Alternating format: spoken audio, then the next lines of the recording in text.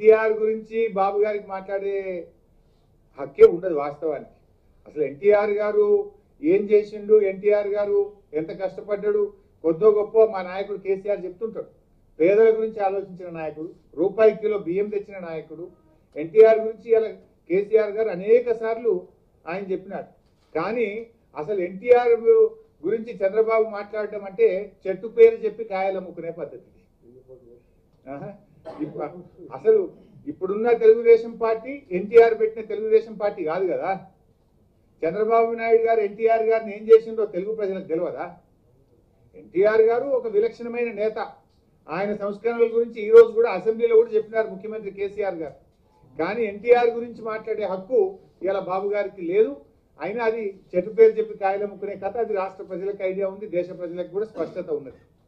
So ఏది ఏమైనా కూడా ఉద్యమ ఇలా తెలంగాణ ప్రజలు బాబు గారిని నమ్మే పరిస్థితి ఉండదు. ఆయన ఉద్యమ సమయంలో ఏం చేసిండో ఎప్పుడు ఏం చేస్తాడో ఏ ఎండకు గొడుగు ఏ రకంగా పడతాడో ఎట్లా మారుస్తాడో అందరికీ కూడా తెలుసు. ఏ- ఇంకా జోక్ ఏంటంటే కరోనా వ్యాక్సిన్ నాతోనే వచ్చిందంట నా వల్లనే వచ్చిందంటారు ఇంకో పార్టీ వాళ్ళు అంటారు నరేంద్ర మోడీ గారి వల్లనే కరోనా వ్యాక్సిన్ వచ్చిందంటారు. ఇది ఇక గమ్మత్తున్న పాపం కనిపెట్టిన సైంటిస్ట్ పోయిండు ఆ కనిపెట్టిన కంపెనీ పోయింది. నా వల్ల వ్యాక్సిన్ అనేది వచ్చిందని చంద్రబాబు నా వల్ల వ్యాక్సిన్ వచ్చిందని బీజేపీ నాయకులు ఇక వీళ్ళని ఏమనాలో నాకైతే అర్థమవుతలేదు సరే వదిలేద్దాం. వాళ్ళ విజ్ఞతకే వదిలేస్తాం. మీరు ఎన్ని చెప్పినా ప్రజలకు మాత్రం చాలా క్లారిటీ ఉంది. తెలంగాణలో కేసీఆర్ గారి నాయకత్వం వల్లనే ఇవాళ తెలంగాణ ఏ రకంగా అభివృద్ధి చెందిందో రైతాంగంలో కానీ ఇవాళ ఏ ఏ రంగంలో కూడా తెలంగాణ దేశానికి దిక్సూచిగా మారింది. తెలంగాణ పథకాలు ఇతర రాష్ట్రాలకు దేశానికి మోడల్గా నిలిచినాయి. ఇతర రాష్ట్రాలు కేంద్ర ప్రభుత్వం కూడా తెలంగాణ పథకాలను కాపీ కొట్టి ఇలా వాళ్ళు అమలు చేస్తుంటే ఇది తెలంగాణ ప్రజలకు గర్వకారణం తెలంగాణ ప్రభుత్వ పనితీరుకు నిదర్శనం. ఆయన మాటలు ఎట్లున్నాయంటే ఒక సామెత ఉంటుంది తెలంగాణలో. చచ్చిపోయిన బర్రెనట పలిగిపోయిన బుడ్డడు పాలిచ్చిందట. గట్లున్నది చంద్రబాబు గారు మాట్లాడింది. అసలు నీకు నిన్ను ఆంధ్రప్రదేశ్ ప్రజలే నీ పాలన బాగలేదని చిత్తు చిత్తుగా ఓడించి ఎల్లగొడితే గీడికి వచ్చి ఇంకా నువ్వేమో చేస్తా అని మాట్లాడతావు. అసలు ఉమ్మడి ఆంధ్రప్రదేశ్లో తెలంగాణ ప్రాంతం అత్యధికంగా దోపిడీకి గురైందంటే అత్యధికంగా నిర్లక్ష్యానికి గురైందంటే అది చంద్రబాబు తొమ్మిదేళ్ళ పాలనలో జరిగింది. ఎందుకంటే ఇప్పుడే గౌరవనీయులు మా మంత్రివర్యులు చెప్పినట్టు అది యువతనైతేమి ఉద్యోగులైతేనేమి విద్యార్థులైతేనేమి రైతులైతేనేమి అన్ని వర్గాలను ఈ ప్రాంతానికి తీవ్రమైనటువంటి అన్యాయం చేసినటువంటి వ్యక్తి ఇవాళ చంద్రబాబు నాయుడు గారు. ఇవాళ మా పిల్లలు ఆనాటి యువత మాకు ఉద్యోగాలు కావాలని మా పల్లెలు అభివృద్ధి కావాలని చెప్పి తెలంగాణ యువత అడిగితే వాళ్ళ నక్సలైట్ల పేరిట కాల్చి చంపింది చంద్రబాబు నాయుడు గారు. మర్చిపోయిందా? తెలంగాణ సమాజం మర్చిపోలే. తెలంగాణ యువత ఇప్పటికీ మర్చిపోలే. ఉద్యోగులనేమో మా శ్రీనన్న చెప్పినట్టు గుర్రాలతో దొక్కిస్తేవి వాటర్ క్యాన్లతో కొట్టిస్తేవి. విద్యార్థులను యువతను మా ప్రాంత అభివృద్ధి గురించి మా ఉద్యోగాల గురించి అడిగితే నక్సలైట్ల పేరు మీద కాల్చి చంపుతీవి. హైదరాబాద్ను ఫ్రీ జోన్ పేరిట మొత్తం హైదరాబాద్ను హస్తగతం చేసుకొని తెలంగాణ నిరుద్యోగ యువత నోట్లో మట్టి కొట్టినటువంటి వ్యక్తి మీరు.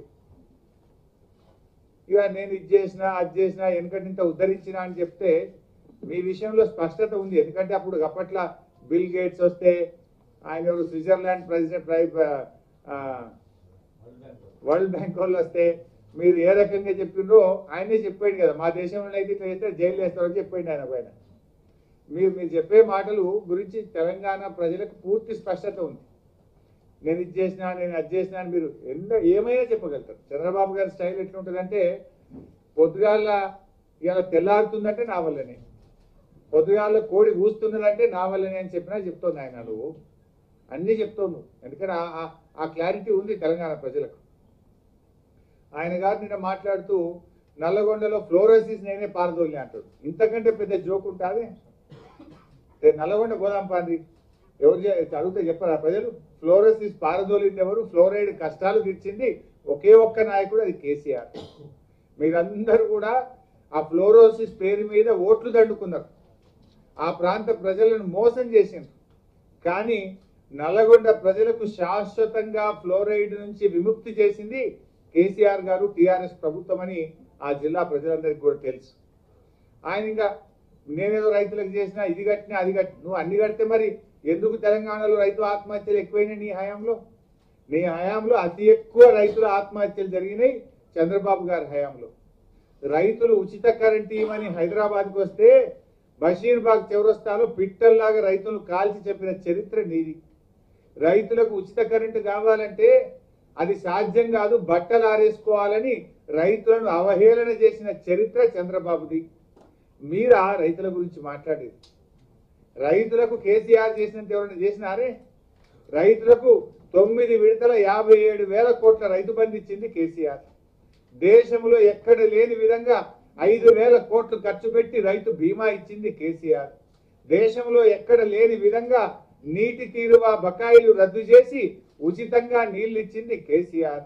రైతుల ట్రాక్టర్లకు పన్నులు రద్దు చేసి ఐదు వందల యాభై కోట్ల పాత బకాయిలు రద్దు చేసి రైతులకు వ్యవసాయానికి ఉపయోగించే ట్రాక్టర్లకు పన్నే లేదని రద్దు చేసిన నాయకుడు కేసీఆర్.